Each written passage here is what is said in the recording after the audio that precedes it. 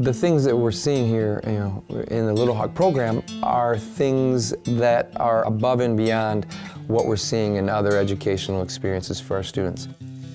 I have parents who are already coming to me and saying, as a preschooler, what are you going to do with him now? Because you have him hooked or you have her hooked. I was surprised at all of the things that they have learned and having this little four-year-old run in, Mom, guess what? We learned about how, how the um, bears don't really hibernate and, and what they all do and words that I had never heard of before. so that's really exciting as well.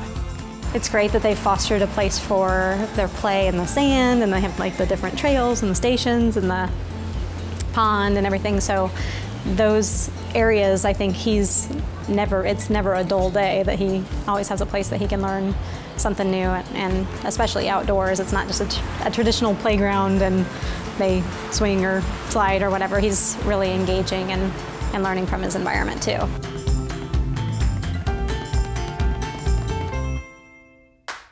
What you end up seeing in this kind of a play environment is that children start to build this teamwork ethic where they work together. Overall, what we see happening is that the, the nature-based play creates less bullying, it creates more teamwork, um, it, it, actually generates a less aggressive form of play and activity for children. I see our kids being able to work together with other people in their future business or their job, learning about teamwork here and how their choices are affecting others.